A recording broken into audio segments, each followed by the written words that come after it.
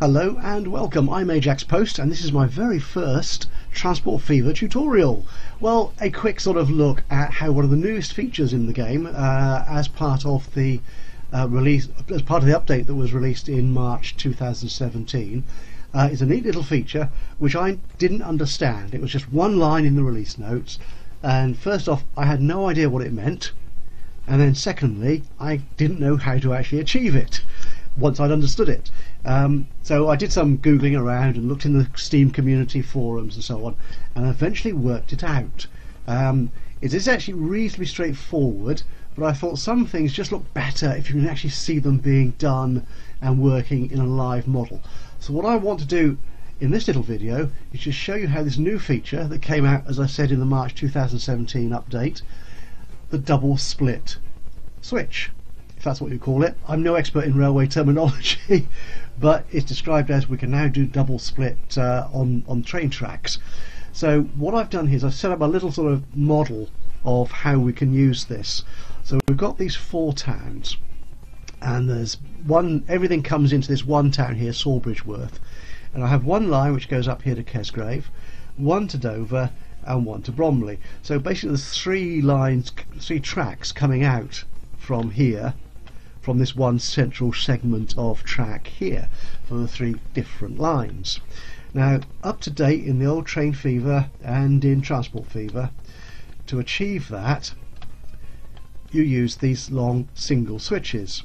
So we have one here which takes us from this one track to the second track and if we needed a train to go to the third track we'd have another switch here taking it from the second track to the third. Now I've made an assumption here that all the trains come up come up on one line just to make it easier to show um, and for me to, me to create the example uh, but it can apply to anywhere where you've got trains that need to cross more than one other line of track um, as we'll see so if we wanted to do this traditionally we'd have this quite long series of switches coming from here to here and then over to there.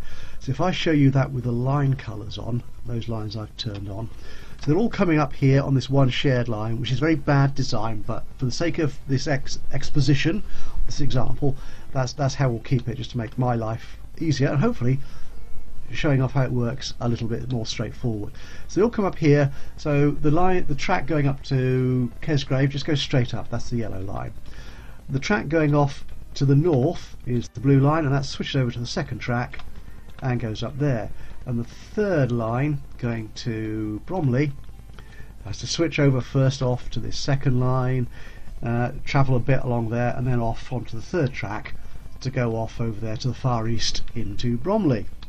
Which is fine and dandy and it works but it's a bit of a, a, long stretch of track and sometimes with the collisions you might get in the game or the slope issues that you can have when creating uh, these, these switches it can be a bit of a pain to do that.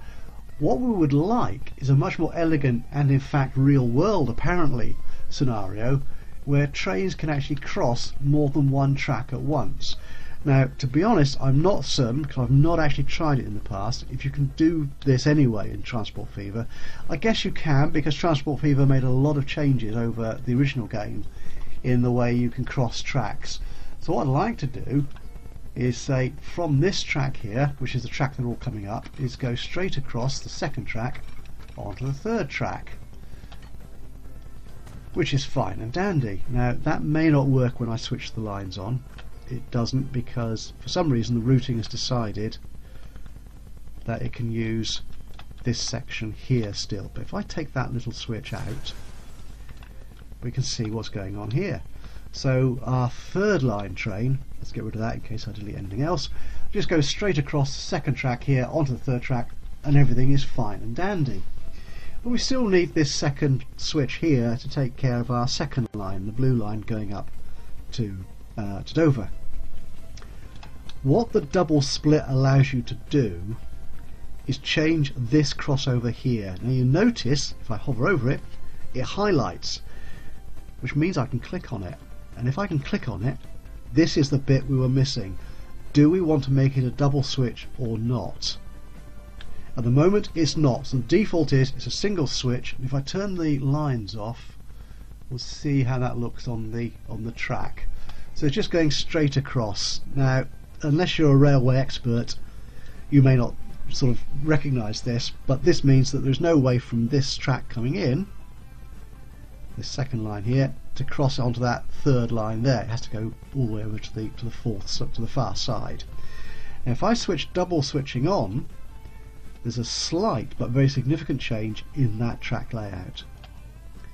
It's added some extra curvature to the lines, and what that means is that I can use this one set of switches to go from this line here, the second line coming in from the left.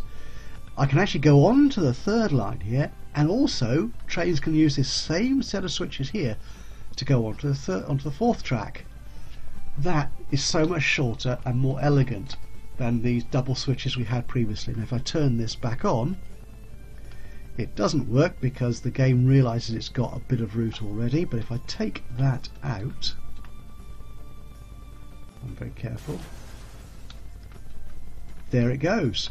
So in this one set of switches, get rid of that again, I can go from track 2 here to track 3 and track 4 and that is a double switch.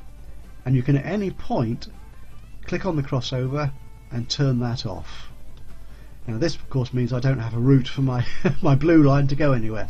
So I'd have to put in a separate switch for that. But if I put it back on double switch and there it is. All three lines now can travel effectively up that. Now obviously this will need to be switch uh, sorry signal controlled. So there'll be all sorts of issues with that. I'm no expert on, on signalling, so I'm not going to cover that here. But hopefully you can see exactly what we've got. Now if I don't know where my trains are at the moment, got three trains navigating. There they go. They're all coming up. If I slow that down a bit more. So the blue trunk line is going to up there onto the second track out which, which is my next train coming up. That's the straight up the yellow line. Where's my green train gone? The green train has the longest way to, to travel. Oh he's stuck there. Uh, that's my signals. I don't have my signals working right. But that I hope does show you exactly what that note that little one line in the release notes means. You can now do double switch, double slip switches in the game, which makes it a whole lot simpler and more elegant to create these crossovers on your lines. Anyway, that's it from me from my very first tutorial. I hope it's been useful to you, that you can see the benefit and how to achieve it. I say the main thing, problem I had was even if I understood what a double slip was, I didn't know in the game how you could do it. But it's as simple as that. You can actually click on the crossover, the switch itself, and make that change. So there you are. Thank you very much for joining me in this little uh, tutorial video. I hope it's been of use to you. If it has, do leave us a like. If you've got any other thoughts or suggestions on where this could be used, um, or any ideas about signalling would be gratefully appreciated. I, can, it's always worth learning more about signalling, if you ask me. Ah, here's our green train coming in, and he switches out, isn't that beautiful? Anyway, once again, from me, Ajax Post, thank you very much for joining me today. Hope this has been useful to you.